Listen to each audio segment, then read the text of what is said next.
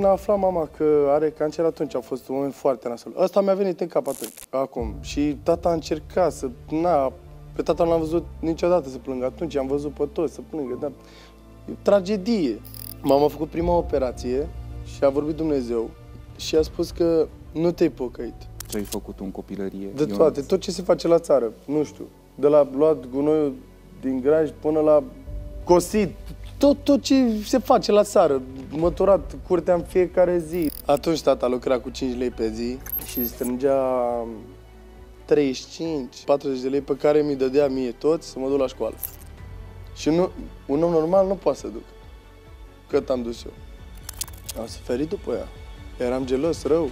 Nu știu dacă suferit, dar eram gelos rău. Nu are voie să pună nimeni niciodată, nici în trecut, nici în viitor, mâna pe ea.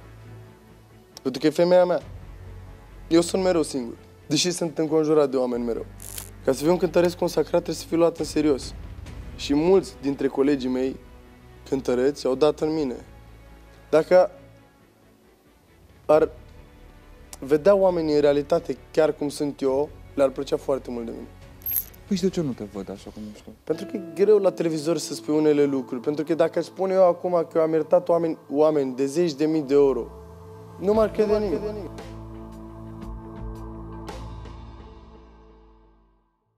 A cunoscut faima, iar apoi a trebuit să se întrebe ce face cu ea.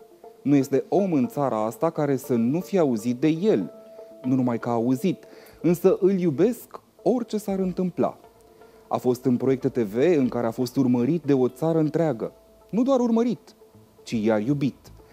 Este vorba de Jador. Însă astăzi o să vrem să-l cunoaștem în oglindă doar pe Ionuț. Cu drag.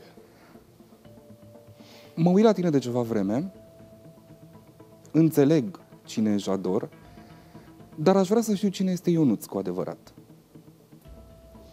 Ionuț? Ionuț e, spatele, e omul din spatele lui Jador. Mamă, nu m-am gândit niciodată la asta. Da, Ionuț e omul din spatele lui Jador. Cum ți-ai conturat uh, personajul ăsta Jador? Nu l-am conturat eu. Dumnezeu. Dumnezeu l-a conturat, nu eu. Eu l-am gândit, l-am proiectat, l-am gândit de, de mult. Uh, dar uh, toate, toate strategiile mele de marketing ale lui Ionuț, da? Nu al lui Jador, nu sunt în calitate de Jador, sunt în calitate de Ionuț, da? Toate, uh, în calitate de Ionuț îți spun că toate strategiile de marketing pe, pe, pe care le-am folosit pentru Jador, toată gândirea, toată atitudinea, tot, tot, tot, tot, tot, tot ceea ce sunt, inclusiv uh, educația uh, pe care o are Jador, este, și-a impus-o și acum nu poate trăi fără ea, cum să-ți spun eu. M-am educat singur prin treaba asta. M-am educat odată cu televizorul. Fix așa.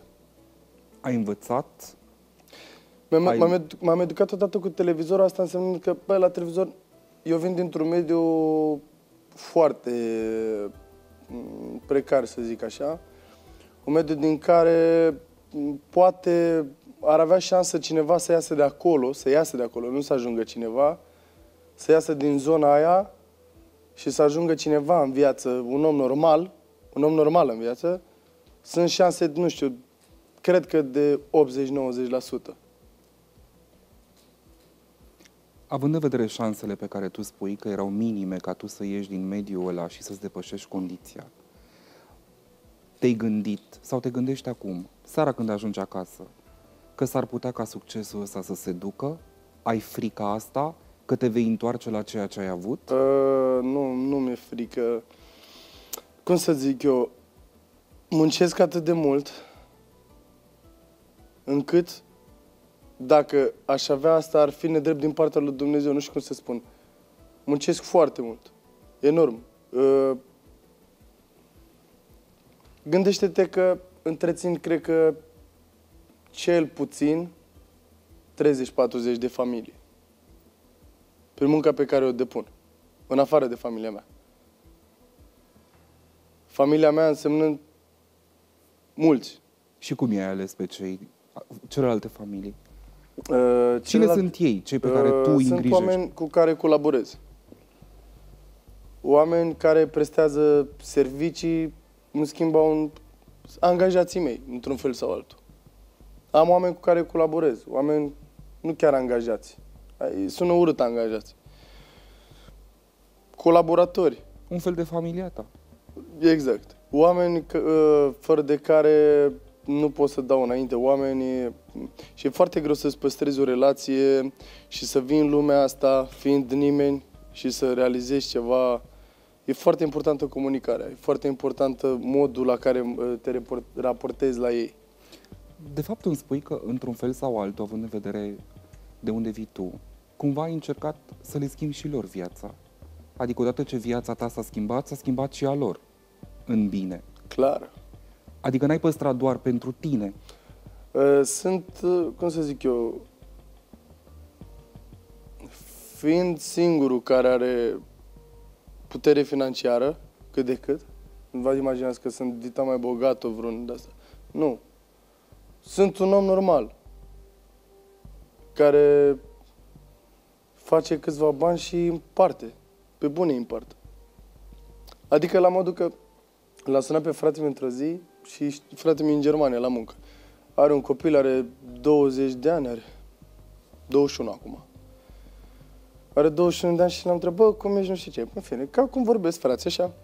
Și a zis că, bă, vreau să pun și eu 3000 de euro deoparte să, să-și facă nu știu ce încălzire la casă. Bă, deci că mi-am dat seama în momentul ăla că fratele meu cât muncește pentru niște bani. Dar nu pot nici să-i dau totul de gata, pentru că chiar aș da totul de gata, n-ar mai ști cum e viața, cum sunt chinurile vieții. Tu ți imaginezi că am trim... Eu cred că i-am dat mai mulți bani, i-am trimis eu mai mulți bani decât a, a strâns el acolo în Germania. Deci i-am trimis mai mulți bani, de, cred că a cheltuit mai mulți bani de la mine decât a făcut el acolo, de când e acolo. Tu, de fapt, spui că îl lași cumva să aprecieze și valoarea Trebuie, banului. că e copil, are 21 de ani. Ce Pentru știe că el și ce e tu viața? ai luat-o de jos cumva și și ce înseamnă 3000 de euro acum. Cum să nu? Dar pentru că vorbim de euro și de bani, spune că nu ești un om bogat, dar fericit ești, Cel mai fericit. Eu nu pot să înțeleg, eu personal, nu pot să înțeleg oamenii, artiști, cântăreți, care vin aici și spun, domnule, nu sunt fericit. Cum poți să nu fii fericit? Când Dumnezeu te-a scos și te-a pus bine, eu personal, când m-a scos ca pe David, m-a scos ca pe David din oameni normali și m-a pus acolo pe, pe stâncă. Cum să nu fiu eu mulțumit? Când m-a scăpat de sărăcie și m-a scăpat de multe lucruri de chin și aș fi putut să muncesc și eu acum în Germania sau am făcut o facultate, puteam să fiu economist. Dar nu, nu, nu, nu trăiești cu banii ăia. Nu plătești nici măcar chiria cu banii din ea. Nu plătești ce să mai zic de mâncare, ce să mai îți permiți haine. Sunt multe lucruri pe care, nu știu, te simți prost așa când tu ai bani și uh, ai tăi n-au. vrei să mă duci acasă la tine la Bacău un pic? Inside-urile sunt uh, mai mult decât film. Decât de film. Viața ta a fost un film. Vrea cineva să facă un film cu viața mea, da. I-am povestit așa puțin Îmi povestești și mie? și realitatea, re- realitatea e foarte dură. Realitatea, realitatea. Am fost tot la un concert zilele trecute, 8.000 de oameni și am luat-o prin spate. Deci tu înțelegi că oamenii ăia și-au pierdut doi copii la concert. Doi copii mi-au adus doi copii pe scenă, că nu știu cu e copilul ăsta. L-au găsit, l-a găsit poliția. Și era un copil care, bă, într-adevăr, era, de-al, era țigan de-al meu, da? Nu vreau să zic rom, că pe mine mă jignește cuvântul rom. Eu sunt țigan. Și la și da, mirosea ăla, nu era, mirosea copilul. Nu era vreun copil de bogat sau așa. Mirosea era mai că s-am văzut-o, nu era o femeie gospodină, nu era vreo... Mai sunt și oameni de genul ăsta, care nu ar trebui să facă copii. Mai ar trebui mai întâi educației și după să facă copii.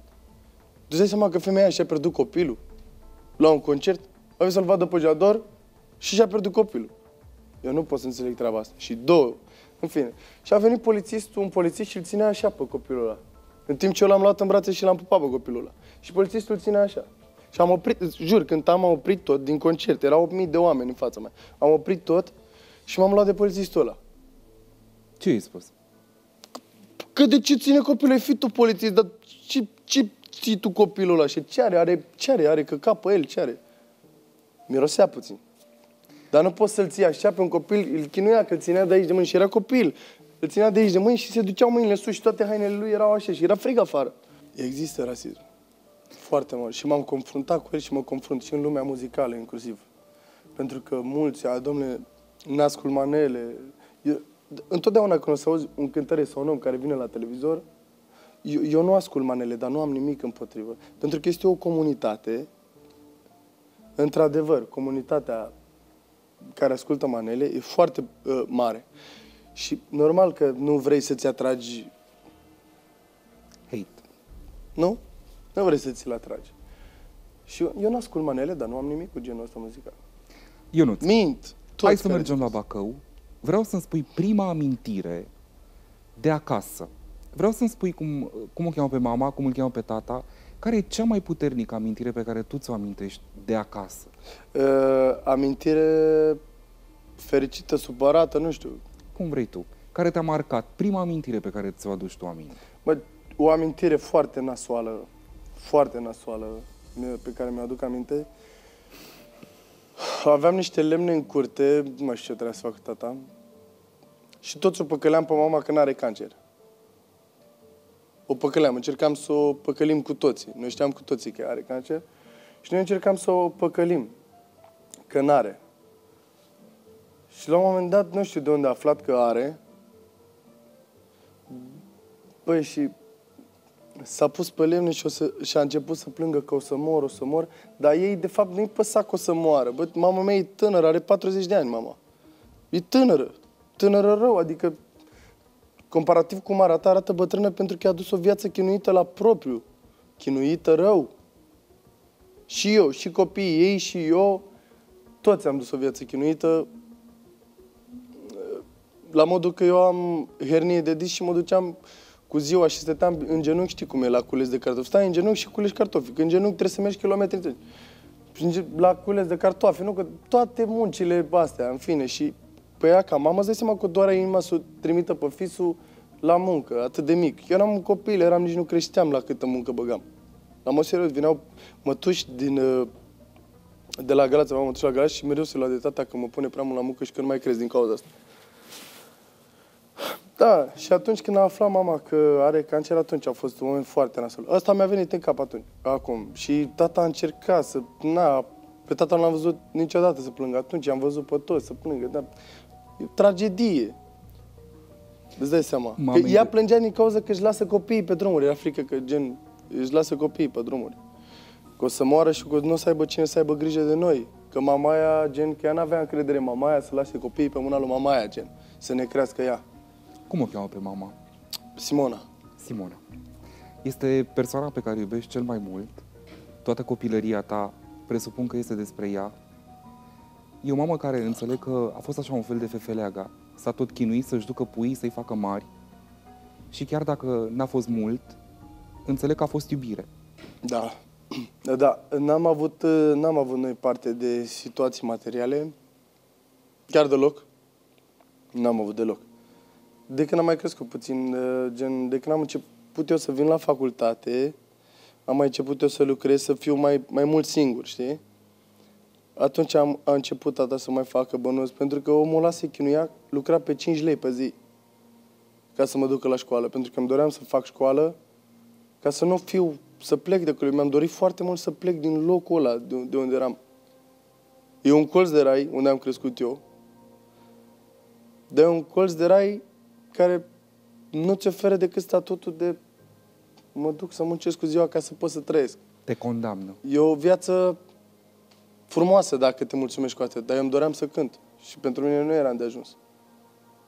De fapt, visul ăsta al carierei tale a încolțit acolo, în timp ce culegeai la cartofi, în timp ce făceai muncile casei, cumva visele erau acolo. Da. Da, a fost uh, o luptă cu soarta mea, o luptă cu destinul, o luptă cu toată lumea. O luptă cu orice îți poți imagina pe lumea asta. O luptă cu tot ca să poți să ajung aici. Cum era o luptă casa cu, acolo? in- inclusiv cu rasismul. Cum era casa copilăriei tale? Atunci. Uh, Cum era casa? Dar nu știu dacă ai văzut Curtea. case de genul. Nu știu dacă ai văzut case. Uh, e- aveam... Știi, știi cum arată o riglă? Eu Da. așa lungă, era ligră și pământ băgat. Atât era. Deci nu avea nimic altceva. Era doar rigla bătută pe niște paleți, rigla, și avea pământul acolo. Știi cum faci vălătuși cu paie, făcea mama cu tata. Și căram și eu, știi, știu, că căram și eu. Atâta era casa mea. Aveam în geam, doar la o cameră aveam geam. Nu era chiar geam. Era un geam tăiat, făcut de tata, așa, din bucăți. Și la, la hol știu că aveam uh, o prelată pe care mai puneam uh, popușoi, din când în popușoi însemnând porumb. Ce Da. munci ai făcut în copilărie? De Ionuț? toate, tot ce se face la țară, nu știu. De la luat gunoiul din graj până la...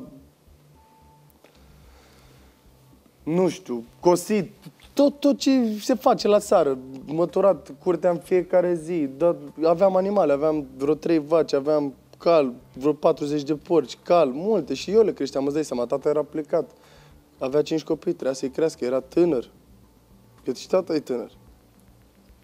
că Uh, n-ai nu s-au avut. gândit. De asta sfătuiesc toți copiii, uh, înainte să facă niște copii, bă, totuși să le creeze puțin ceva. Adică să nu... Să, dacă vine, vine. N-ai ce să faci. Dar s- dacă să se protejeze puțin, să nu-i facă așa pur și simplu, să le ofere totuși o educație.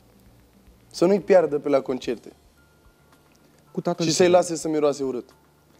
Cu tatăl ce relație? Și eu am mirosit, cred că. Când și eu. erai mic? Tata Ce relație ai mereu a avut cu el? fost dur. Tata meu mereu a fost dur cu mine. M-a bătut mult. Și mama și tata m-au bătut. Foarte mult m-au bătut. Pentru că, ți-am spus, nici ei nu, aveau, nu au avut parte de o educație foarte vastă. Adică nu au avut și nu-i condamn pentru asta. Dar cum părinții mei sunt niște părinți model. Mai mult decât model. Dar de ce te băteau? Eram rău. Nu făceam treburile, adică, îți dai seama, eu aveam responsabilități, ca un om mare. Trebuia să duc calul la, să mă duc cu- la cosit, la iarbă. Asta făceam zilnic. Trebuia să mă duc la cosit, să aduc mâncare la animale.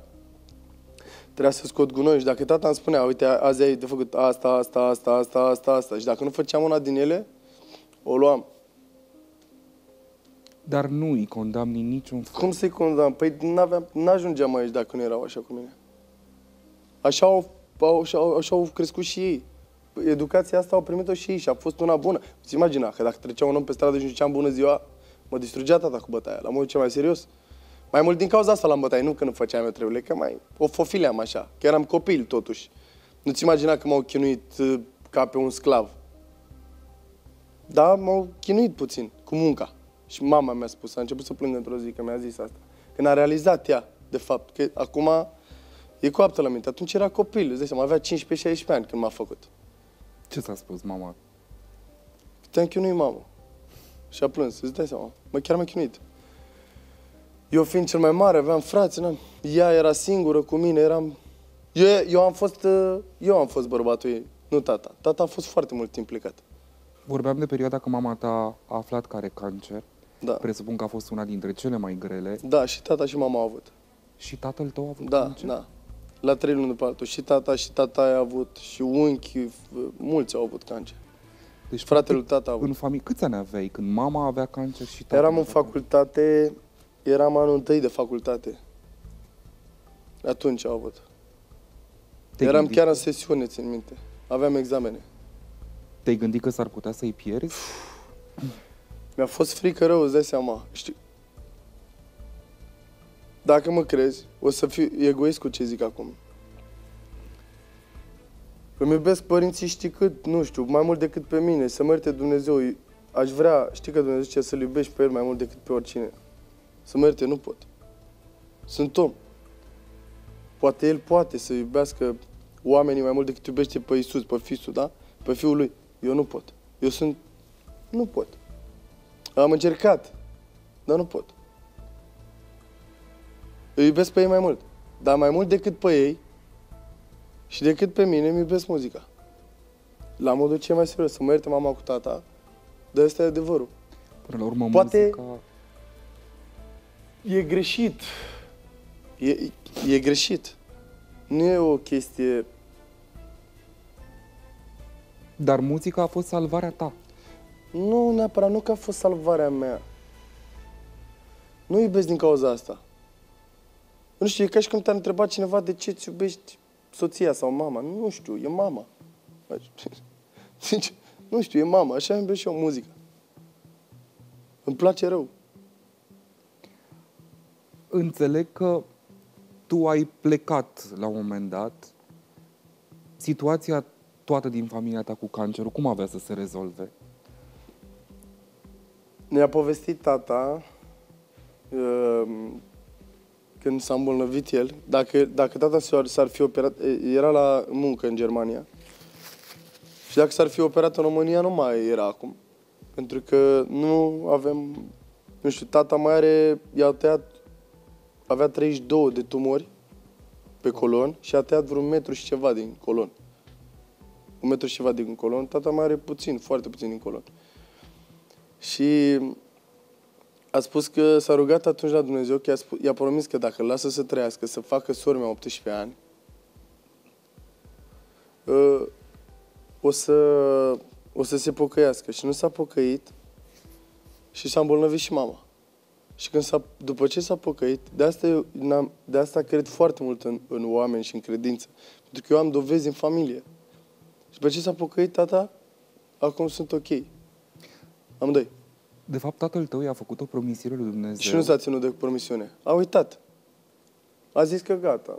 S-a, s-a vindecat el, gata. Și la câteva săptămâni, la o, trei luni, s-a, s-a îmbolnăvit mama de cancer. Tot la fel. Și după, după ce s-a pocăit, s-a, uh, ca să înțelegi tu, mama a făcut prima operație și atunci uh, stătea în mașină și dormea la, în spital, la Iași, că noi suntem din Bacău. El dormea în mașină la Iași. Și atunci a, a avut un vis și a vorbit Dumnezeu și a spus că nu te-ai pocăit. Și atunci tata, în ziua aia, în seara aia, a plecat și s-a predat, gen, a spus că vrea să îl urmeze pe Dumnezeu, să toată viața lui. Și acum tata e pastor și mama s-a vedecat, e ok. Și mama după ce a operat-o, când ziua aia operase, a doua zi a intrat iar în operație. Deci, practic, a doua operație a salvat-o pe ea. După ce a zis tata uh, că vrea să-L urmeze pe Dumnezeu. Și acum e pastor, are chiar biserica lui, slujește în biserică. Având niște părinți atât de modești, știi, uh, realizezi cine sunt eu. Știi? Și eu nu am cum să am vreodată vreo fig- figuri. N-am cum să am vreodată figuri. De asta nici nu prea suport oamenii care au figuri. Nu prea suport oamenii care au figuri. Că... Și eu n-am cum să am figuri din ce am spus, dar eu sunt familia mea, fac parte dintre ei. Și mi-aduc aminte cine sunt. Da, m-au ținut pe o linie dreaptă. Familia. Foarte important. Am stat la cămie. Atunci tata lucra cu 5 lei pe zi 5 lei și strângea 35, uneori 40, 40 de lei pe care mi dădea mie toți să mă duc la școală. Și învățam. Mereu am învățat bine, doar că la un moment dat am fofilit așa și a venit mama la școală și m-am bătut rău de tot.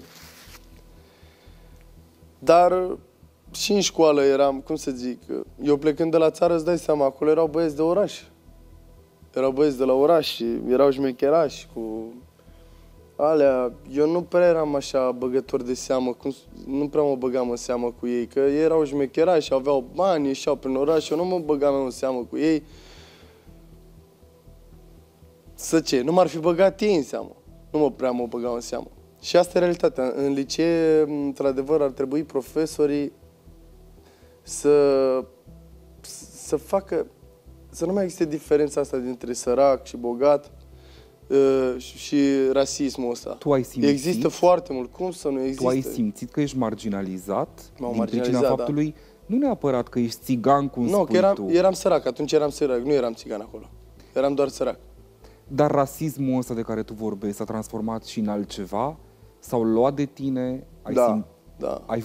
M-au luat, au venit să mă bată. Au venit să mă bată. Mă jucam cu un coleg la un moment dat. Ne jucam noi doi. Și a venit unul că, bă, ce... Ne jucam ca copii, nu mai știu, făceam noi gen box amândoi, ne dădeam palme peste cap, cum e în liceu. Toată lumea a făcut asta.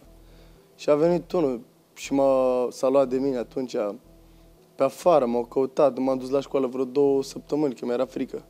Dar ce-ți spuneau? Îți aduce aminte cele mai jignitoare cuvinte pe care le-ai auzit de la ei? Care te-au marcat Nu, mă, nu, mă, într-un fel? niciodată nu m-au, nu m-au durut cuvintele astea, pentru că știam că Mă, nu sunt din suflet. Un om când te jignește nu, nu zice neapărat din suflet niște lucruri. Eu cred foarte mult în uh, bunătatea oamenilor. Că nimeni nu e rău. Rău, rău. Nimeni nu are intenții rele. Doar că se întâmplă lucruri rele să le facă și na, le greșesc. Nimeni nu vrea, nu știu, nimeni n-ar vrea să omoare un om, cred. Poate doar cine știe, un om la 5 milioane, cred. Eu, n-am, eu nu cred că există oameni răi pe pământ. Și totuși tu ai suferit din cauza lor. Da, da, am suferit. Am suferit pentru că, na, fiind așa, eram și sărac, eram și țigan, uh, fetele de la liceu nu prea mă băgau în seamă din cauza asta.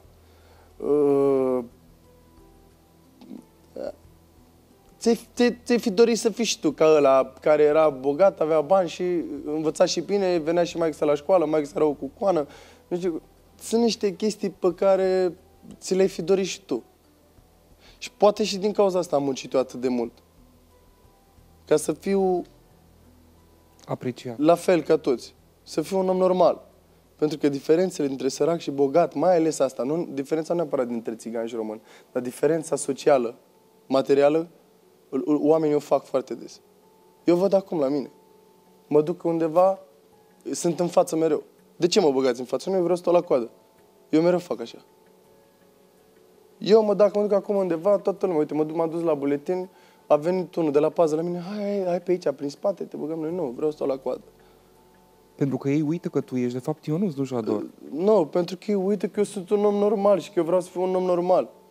Și pentru că n-aș vrea să jignesc pe ea care stau la coadă. Rasismul ăsta de care tu vorbeai, Rasismul, din punct de vedere material, da, există foarte mult. Când ești țigan, e ok, adică la un moment dat nu te acceptă, dar până la urmă n-au încotro. Dacă vede că ești de treabă și, bă, e țigan, ok, omul, dar ce să-i zicem? Omul e educat, n-are, n-ai ce să-i zici.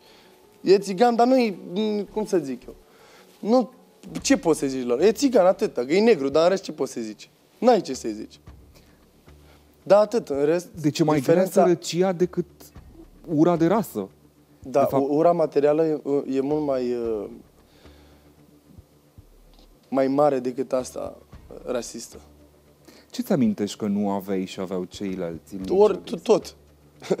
tot. N-aveam inclusiv bani de mâncare. Adică la modul că 3 lei era banii de mâncat pe zi. Și ce mâncai? Și da, de cel mai multe ori era un, era un magazin pe colț care era 3 lei și spunea, îmi punea din ăsta, mă, e, parizel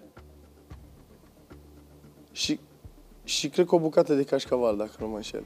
O, ș- știi, o bucată de cașcaval din aia, de la, de desfaci punga de pe ea. Și o un fel de pui brânză topită. acolo. Da, atât. Aia era gen mâncarea generală. Dar nu numai a mea. Și în rest vise pe pâine. Da. da, vise pe pâine la propriu, da. Haine aveai? Aveai pantofi ca restul oamenilor? Aveai... Am o poză cu niște pantofi. Vă semănau cu ăștia așa un pic. Erau, eram eu cu unchiul meu și erau toată pielea asta de deasupra, era luată și mai rămăsese cârpa aia de dedesubt. și așa a făcut poza și când, mi-aduc, uh, când am văzut poza aia acasă, am zis, băi, nu vine să cred. Da. Uh, dar, uh, cum să zic, uh, dacă aș fi fost bogat, am exemple, cu mine am un prieten, nu vreau să-i dau numele, e destul de cunoscut, care taxul are foarte mulți bani, adică la modul care... Dar nimeni nu știe asta. Taxul e foarte bogat. Cred că are milioane de euro. Are iahturi, blocuri, chestii. Și el a făcut bani cam de când și-a început el cariera, aproximativ la fel de mult ca mine. N-avea cum să facă cam ca mine, pentru că eu muncesc mai mult decât un om normal. Și nu, un om normal nu poate să ducă cât am dus eu. De exemplu, eu sunt la tine pe canapea după o lună de muncă, zi de zi, în toată țara, în Germania, Italia, Spania, peste tot, cântat câte două, trei cântări pe zi și am venit și aici. Asta din respect pentru Canal D, că m-au, ei m-au ajutat să fiu ce sunt, cine sunt. Ești mândru de tine că frații tăi cumva n-au trecut prin ce ai trecut tu? Vreau să termin ce am zis și după, da. iartă-mă că nu-ți răspund la întrebarea asta. Ei, și băiatul ăsta care e foarte bogat, care, taxul e foarte bogat, el nu realizează asta. Taxul e foarte bogat, cu banii aia pe care i-a făcut, eu mi-am luat casă, mi-am luat mașină, mi-am luat hăinuțe, tot ce aveam nevoie, tot ce n-aveam. Telefon. Dar eu și cu banii pe care am făcut, am mai investit. Uite, eu am telefon de, uite, spart, vezi? Telefon spart. Eu cu banii pe care aș putut să-i dau pe un iPhone 12 sau nu știu ce, încerc să investesc. Niciodată nu o să vezi un om bogat care chiar e un om de afaceri sau chiar gândește uh, managerial, să aibă un Rolex la mână de nu știu câte mii, ai o investiție proastă pe, pe moment. Ai o investiție care stă acolo. Nici nu crește, nici nu scade prețul. E acolo. De ce să-mi iau la Ca să mă dau mare. A, și băiatul ăsta, revin la el. El a făcut atât de multe prostii și are atât de multe vicii, pentru că el toată viața lui a crescut cu bani, el nu știe cum e să n-ai. Și a ajuns la mine să-mi ceară mie bani, dă și mie 2-3 milioane, dă, dă și mie 2-3 milioane. Și nu-l înțeleg. Și viciile oamenilor, copiilor, oamenilor bogați sunt, există. Copii, toți copiii din jurul meu. Acum am vrut într-o lume de oameni Îți dai seama, am prieteni bogați, am prieteni milionari, am prieteni săraci, am prieteni cărora le-am crescut familie în pandemie, cărora le-am crescut copii în pandemie. Am tot felul de prieteni. Și prietenii ăștia bogații mei, toți fac prostii mari, cărora le distrug viața. Drogurile le distrug viața. Drogurile n-au fost o tentație pentru tine niciodată? Niciodată. N-au cum. Eu sunt numai lui Dumnezeu. Eu n-am cum să fac prostii de astea. Dacă ar, nu mă gândesc doar la dacă ar auzi mama, cred că ar nebuni. Doar dacă ar auzi că am fumat o țigară, mă distruge. Nici nu fumezi? Nu. De băut bei? Mai beau. Mai beau. Dar nu, nu-ți imagina că beau de cat pe jos. Un pahar de vin, două, trei. Dar niciodată nu m-am bătat să beau, să vomit, să din astea nu. Dar practic ești obligat într-un fel sau altul, având în vedere meseria ta, să-i vezi pe oamenii ăștia în fața ta. Da. Cum se droghează, cum își bat joc de viața lor. Știi care sunt primele întrebări? De asta, și nici nu e, de asta nici nu acuz pe oamenii care zic că, că aș face asta. Sunt oameni care prima oară vin la tine și zic, vrei ceva? Vrei ceva însemnând droguri. Și copii. Deci, sunt oameni care nu realizează... Deci există un grup de tineri, poate sute de mii, în București ăsta, care îi doar cu asta se ocupă, cu distracții, cu băutură, cu fete, cu... N-ai cum. Când îți plac, uh, chestiile astea, n-ai cum să, să dai înainte. N-ai cum să ai o constanță, n-ai cum să... N-ai cum să fii cerebral. A apărut această oportunitate în viața ta numită Puterea Dragostei. Da. Aș vrea să spui momentul când te-ai decis să te înscrii la un show de asemenea Dar nu m-am învergură. înscris la, la emisiunea aia. Eu m-am înscris la Survivor. La Exatlon, de fapt, era. De fapt, tu ai Îmi văzut plăcea pe foarte Exatlon. mult de Gianni Chirisă și îmi place foarte mult de el. Bun. Îmi place ambiția lui. Și îmi place și de el ca om. Eu știu că, de câte am înțeles, nu prea mă place. De la prieteni și de la astea. Dar mie îmi place de el. Pentru că m-a făcut să uh, mă înscriu acolo. El m-a și făcut. cum ai ajuns de El la susținea. Exatlon la Puterea Dragostei? Nu știu, m-au sunat, le aveam o emisiune. Te baci? Și am zis că este momentul să arăt cine sunt eu. O țară întreagă avea însă să trăiască alături de tine, nu doar alături de tine, ci alături de poveștile tale de dragoste. Fiecare poveste de dragoste de acolo din Puterea Dragostei era așa un fel de... Da, sunt, uh, sunt un om Telenovelă. care, da, mi-arăt fața, uh, adică sentimentul pe care l-am, fața mea o arată, știi?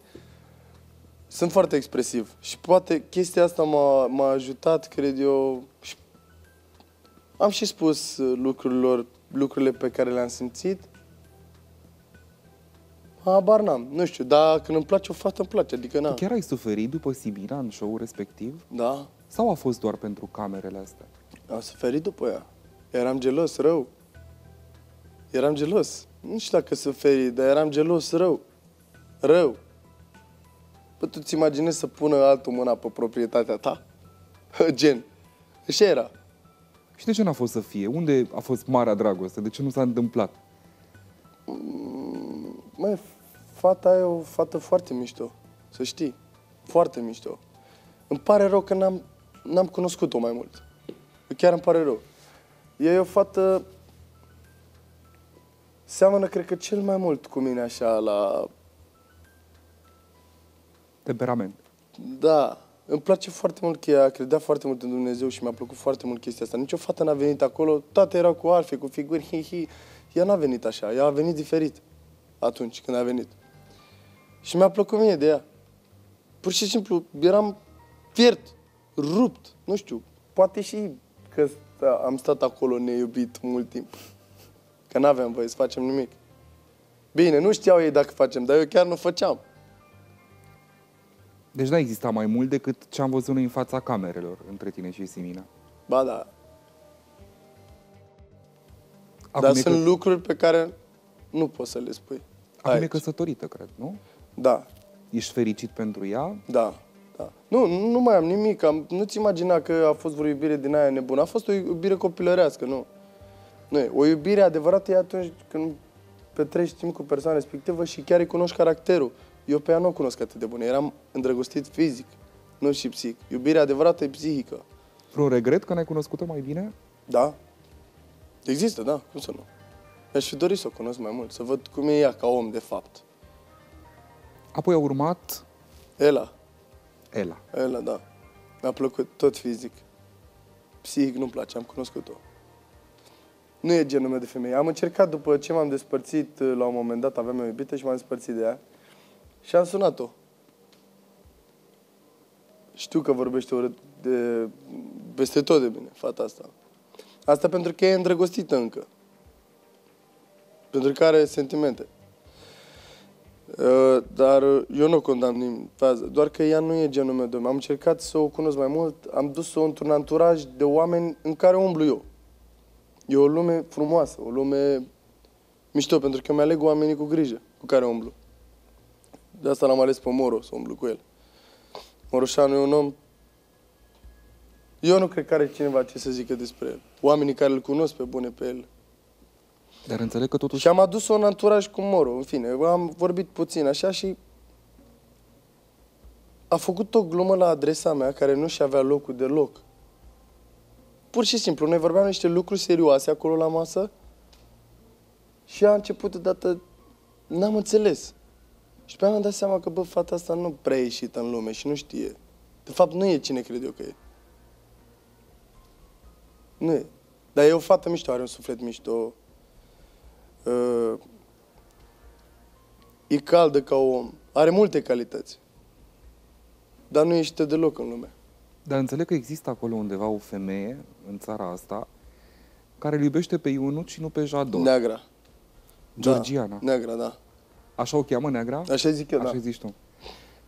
Care îl iubește doar pe Ionuț, care nu-și dorește expunere. Ai văzut vreo poză vreodată cu mine și cu ea? Nu. Undeva? Nu. Ai văzut vreodată la televizor? Nu.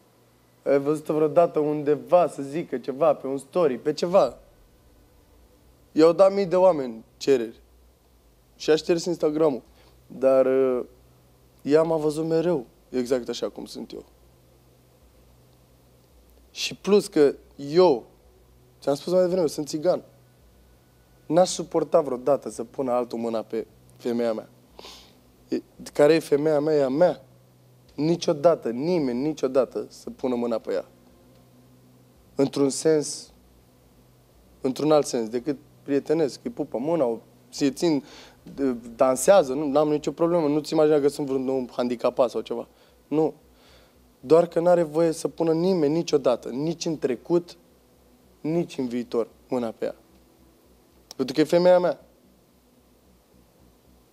Nu aș suporta gândul ăsta. Dacă m-ar înșela pe mine o, o femeie, mi-a- nu m-a înșelat niciuna, niciodată. Dar dacă m-ar înșela, m-aș, cum să zic, m-ar, m-ar distruge psihic. Că n-a, eu, femeia mea e a mea. Nu pune niciunul mâna pe ea. Și dacă vorbești așa de frumos despre ea, te-ai schimbat tu de nu mai sunteți împreună azi? N-aș putea să zic nici că suntem împreună, nici că nu suntem. N-aș putea să-ți răspund la întrebarea asta, pentru că nici eu nu știu ce e. Ce în sufletul Cert e că e femeia care mă face cel mai fericit uneori, dar e femeia care mă face cel mai nefericit uneori. Nefericit de ce? Prea multă gelozie. E prea multă gelozie. Te-ai pus în locul ei cum ar fi să trăiești? N-aș suporta, n-aș, n-aș suporta. A luptat foarte mult. Eu n-aș suporta, n-aș sta cu ea. Cred. Nu știu.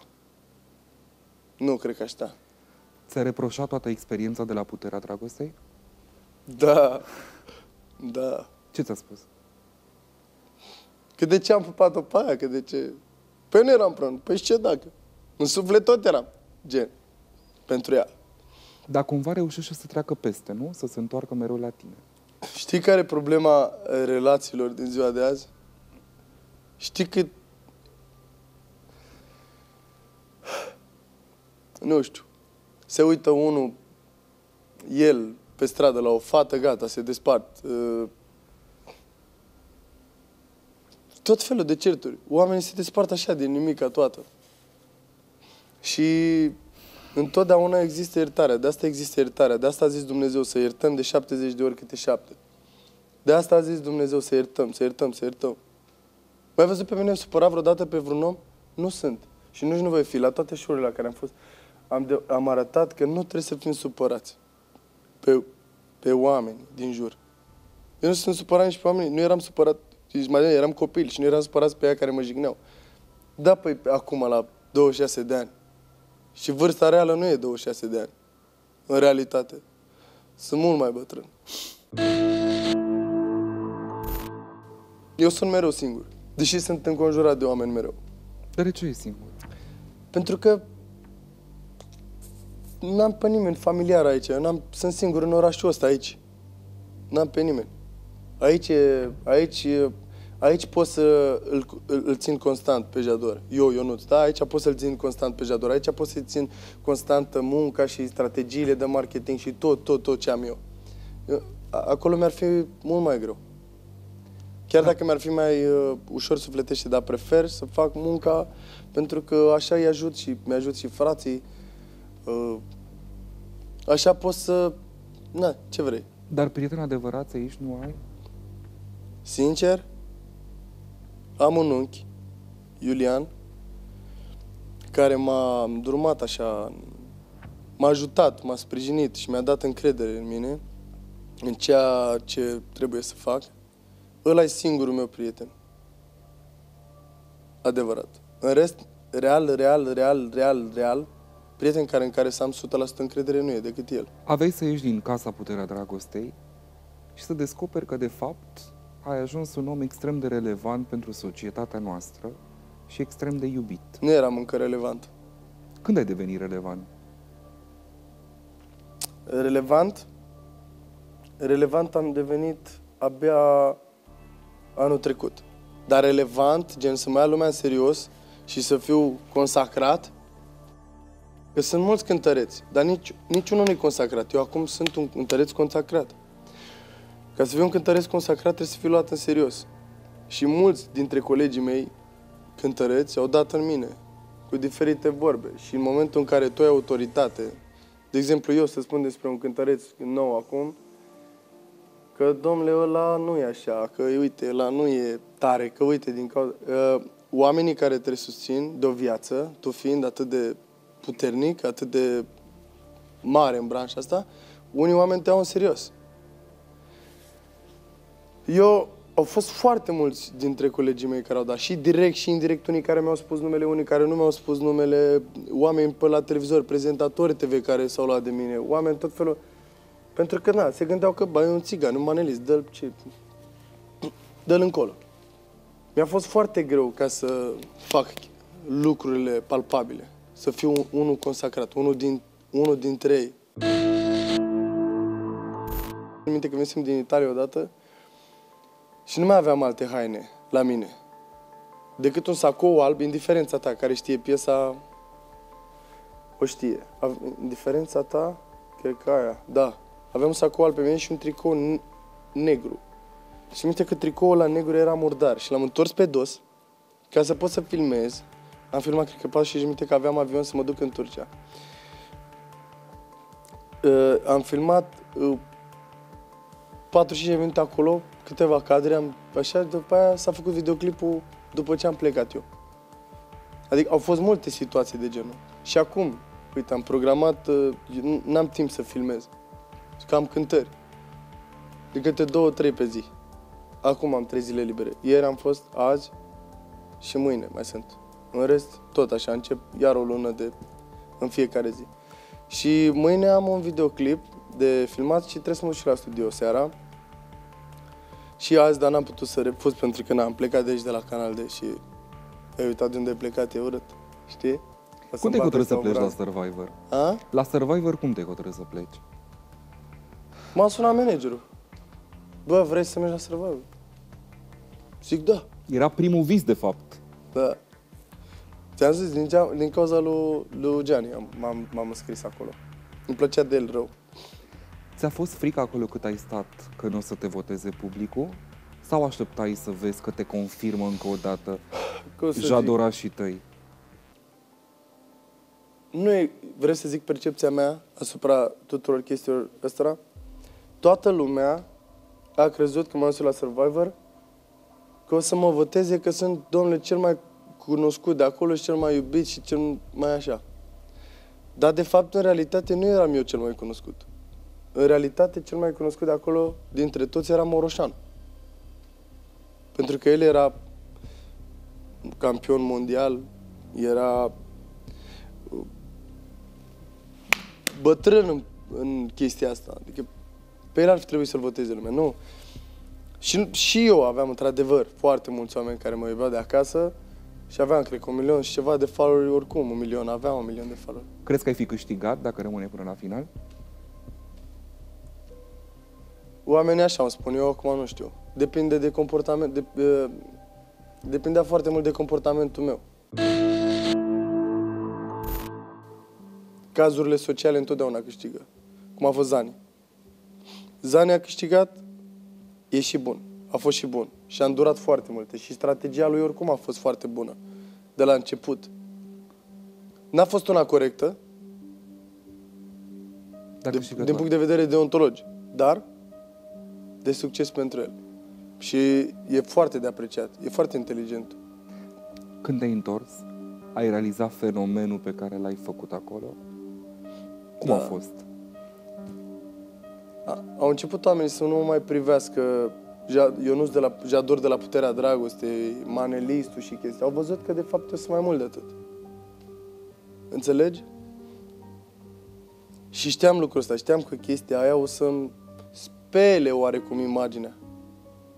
Pentru că nu o să mai fiu Ionuț de la Puterea Dragostei, o, o să fiu Ionuț cântăreț, un om care, bă, se vede cum ăsta e ambițios. Și am vrut să arăt partea asta puțin. Dacă ar vedea oamenii în realitate chiar cum sunt eu, le-ar plăcea foarte mult de mine. Păi și de ce nu te văd așa cum ești tu? Pentru că e greu la televizor să spui unele lucruri. Pentru că dacă aș spune eu acum că eu am iertat oameni, oameni de zeci de mii de euro, nu m-ar crede nimeni. Pentru că nu e posibil așa ceva. Înțelegi? Și că am dat la oameni zeci de mii de euro. Nu m-ar crede nimeni. Deci, practic, cei care te cataloghează drept arogant și că te-ai schimbat n-ar avea nicio bază să spun asta. Mm, Nu cred că are cineva părerea asta despre mine. Poate foarte puțin, care nu m-au urmărit. Oamenii care nu mă urmăresc probabil au impresia asta despre mine. Dar oamenii care m-au urmărit pe la TV și pe unde am fost eu, pe la emisiuni și pe la chestii, n-au cum să creadă vreodată despre mine că sunt arogant sau... Era o cântăreață foarte mare la noi. Când zic mare, foarte mare, zic foarte mare. Cântăreață de muzică ușoară care e pe radio și în afară și peste tot și eram la concert. și am venit cu un Volvo, Volvo la unul din turmanagerii mei și eram în Volvo eu acolo și m-au văzut oamenii. M-a văzut unul. Și când m-a văzut unul, vreau să zic, 8.000 de oameni țipau Jador, Jador și ea, fata era pe scenă și cânta. da, e... Nu înțeleg nici eu. Ce se întâmplă? Da. Întotdeauna oamenii care au apărut la televizor, unii dintre ei, cumva focul ăsta s-au aprins ca o torță, dar cumva și torța asta s-a stins repede. Există orice cal devine gloabă. Până o să devin gloabă, n-am decât să muncesc ca să am uh, până atunci să să-mi ajut familia cu tot ce pot, să-mi uh, să le fac case, să, să avem de toate, așa, să avem ce să mâncăm. Despre asta e vorba. Nu vreau să fac averi. Nu vrei iacturile și ceasurile de care vorbeai mai devreme că le au alții. Nu. Nu vreau ceasuri scumpe. Dacă nu În te-am schimb, îmi plac, uite, îmi, plac, îmi place să, să mă pur la costum. Pe astea dau bani. Pe astea. În rest nu dau bani pe nimic. Dacă nu te-am întrebat ceva și ai vrea să le spui oamenilor de acasă, Da. De pe YouTube e emisiunea și sunt foarte mulți copii. În orice concert spun asta. Niciodată să nu fie supărați că sunt uh, săraci sau unguri, țigani sau altceva și sunt dați la o parte. Și e, f- lumea îi judecă sau sunt discriminați din orice punct de vedere, nu știu, sunt săraci sau sunt au un, o pată pe ochi sau n-are un ochi sau ceva. Pentru că cu siguranță ei o să fie mai bine decât aia care fac asta. Le fac asta lor. deci cam ăsta ar fi mesajul tău pentru niște copii mici, cum a fost și Ionuț pe vremuri, să spere. Să muncească, nu să spere. Să spere, dar mai mult să muncească. Pentru că Dumnezeu îți dă, dar nu-ți bagă în straiță. Și eu m-am rugat în nopți la rând, zile. În fie, de fie, n-a existat odată să trec pe lângă o biserică. Țin minte că eram, mă duceam la iarbă și treceam mereu pe lângă o biserică, unde era tata aia mormântat și mă rugam mereu să eu, mă, cum am învățat tata să mă rog pe mine, mi spunea uh, să-mi luminează-mi, Doamne, mintea și ajută-mă să-mi câștig existența din muzică. Și vreți să zic ceva? Doar din muzică. Dacă fac bani din altceva, se duc. Nu știu. Dacă fac bani, nu știu, dintr-o promovare, zice oricineva, bă, îți dau atâția bani, pune și mie asta pe Instagram sau făm ceva, nu știu. Nu se lipesc banii aia, se duc, nu știu. Îi dau pe prostii. Pe haine. hainele sunt o prostie, să nu mai dea copii. Am văzut pe TikTok diferiți TikTokeri din ăștia care dau o grămadă de bani pe haine. Am mulți prieteni, cop- mulți prieteni care în loc să-și ia acasă și-au luat mașini scumpe și haine, să afișeze ceva, tocmai din uh, neajunsuri. Să, nu trebuie să mai fac asta. Am văzut un copil care s-a tatuat pe ochi uh, și-a luat haine scumpe ca să fie mai interesant. Tocmai că, că, copilul ăla a fost marginalizat de la o parte, că a fost sărac, că a fost așa și el a încercat să iasă acum, uite, acum sunt normal. El asta încearcă să demonstreze, dar nu e bine, de fapt. Prima oară, când aveți niște bonus, luați-vă casă, să aveți unde să dormiți. Și după aia luați-vă o mașină. Și nu una foarte scumpă, că se duce, mașina nu e investiție bună. Aș putea, jur, aș putea să-mi iau Lamborghini, mâine mi iau Lamborghini dacă vreau. Dar n-am ce să fac cu el, că se strică și bag bani în el. Nu mă ajută cu nimic. Doar, e doar o, o mașină cu care mă pot, îmi aduce un anumit statut în ochii unor oameni. Pentru că, într-adevăr, în publicul din România, dacă ai, uh, nu știu, arăți că ai bani, oamenii își vorbesc altfel cu tine. Opulența. Vorbesc altfel, vorbesc cu domnul, cu domnul. Eu când am auzit că îmi zice domnul Jador cineva, zic, bă, ce naibii și asta, mă? Cum să-mi zică mie, domnul Jador, eu o femeie în vârstă, în condiții în care am 26 de ani. Și am zis, domnul, nu mai spuneți așa. Că m- mă supăram, mă, mă jignește. Eu să zic să rămână, că ești o femeie în vârstă. În fine, banul e, e, impune respect foarte mult. Da, și asta vreau să zic, să nu-ți mai ia copiii mașini și haine scumpe, că nu ajută la nimic. Să, să, să-și ia acasă, Mulțumim, Ionuț. cu drag. Astăzi l-am avut pe Jador, în oglindă. Un artist care a plecat de jos, dar n-a uitat să rămână cu inima acolo unde trebuie. A învățat să trăiască simplu, modest, să nu se ducă în abundență și asta vă spune și vouă, celor de acasă. Să munciți, nu să sperați și totul o să fie bine. Vă mulțumim mult că a stat în oglindă.